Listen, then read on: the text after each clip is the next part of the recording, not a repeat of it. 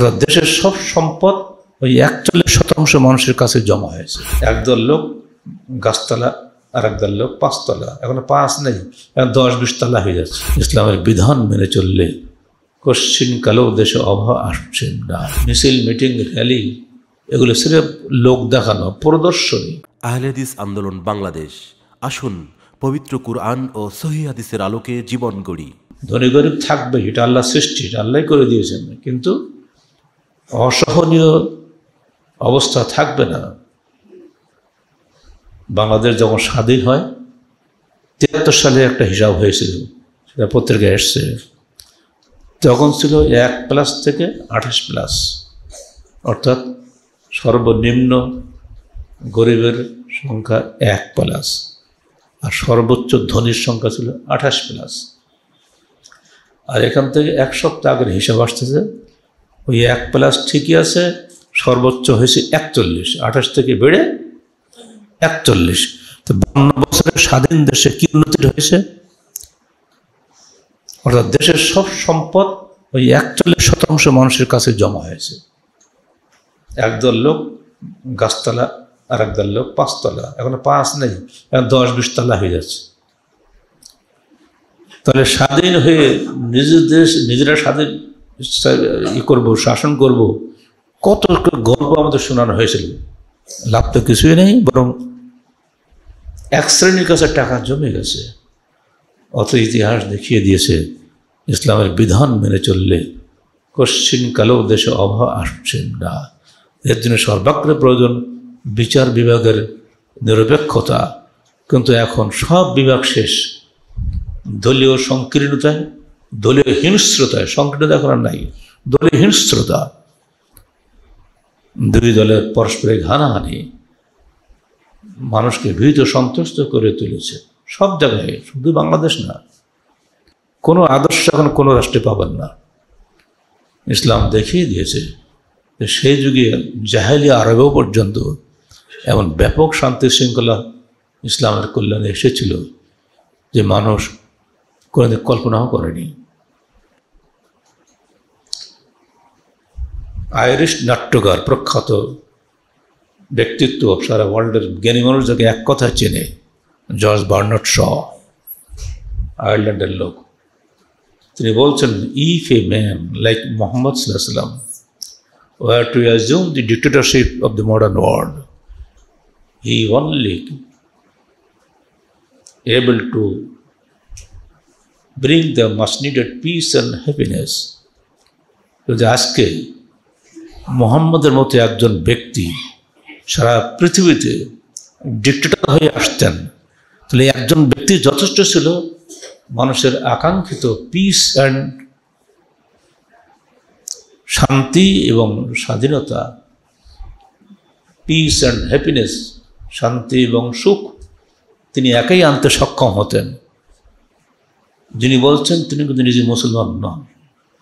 তিনি কোনো আলেম ওলামা নন তিনি একজন নাট্যকার এরপরও তিনি খ্রিস্টান জন্মগত তার মুখ দিয়ে এই প্রশংসা বের হয় কোন মুসলমান নেতাদের মুখ দিয়ে বের হতে শুনছে না তোরা ওই ধারে কাছেও তারা নেই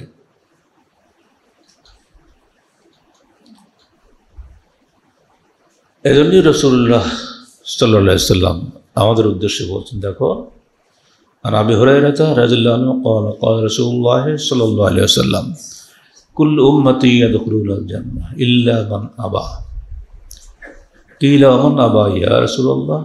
ক্বালা, মান আতাআনি দাখালা জান্নাহ। ওয়া মান আসানি ফাদাখাল ফকত আবা। এই যে রাহুল বুখারী, যে ব্যক্তি, আমার সমস্ত উম্মত জান্নাতে প্রবেশ করবে। তারাই কেবল করবে না যারা আবা। জান্নাতে যেতে চায় না, অসম্মত। তো সাহাবেকরাম বললেন, জান্নাতে যেতে চায় এমন পাগল কি আছে আমার তো রসুল জবাব দিচ্ছেন, মান আতাহানি পাদা করার জন্য যে আমার অনুসরণ করল, আনুগত্য করল, সে জান্নাতে প্রবেশ করল। আমার আসানি পাকাদ আবা। আর যে আমার অবাধ্যতা করল, সেই তো আবা।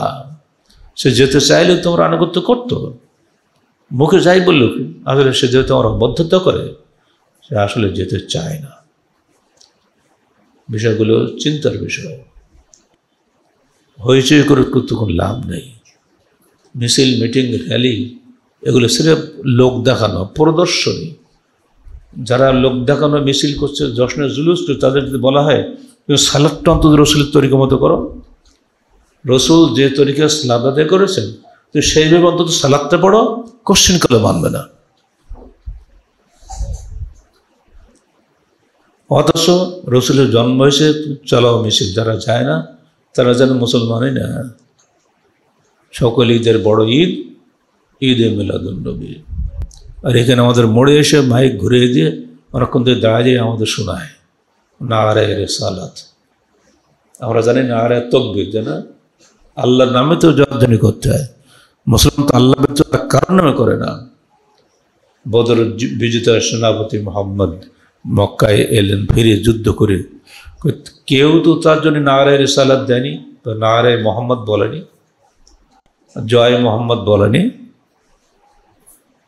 অথচ আমরা এখন কোথার থেকে এগুলি বের করলাম, আল্লাহ ভালো জানেন হ্যাঁ বেদাতের বাহক হলে বাংলাদেশে ইনকিলাব। দেখল যে আর পারা যাচ্ছে না। এখন বাধ্য হয়ে কালকে আর্টিকেল লেগেছে হ্যাঁ এটা রসুলের জমানায় ছিল না। খোলাফার হাজিনের জমানাতেও ছিল না আমি মনে মনে ধন্যবাদ দিয়েছি। এক ডক্টর ডিগ্রিধারে লিখেছে, ভদ্রলোকে আমি ধন্যবাদ দিচ্ছি যে তিনি স্বীকার করেছেন যে রসুলের জমানা বা খোলাফার হাজিনের জমানা এটা ছিল না। এটা হয়েছে তিনশো বান্ন হিজড়িতে শিয়াদের মাধ্যমে। এটাও তার তত্ত্ব ভুল। এটা হয়েছে ছশো পঁচিশ হিজড়িতে।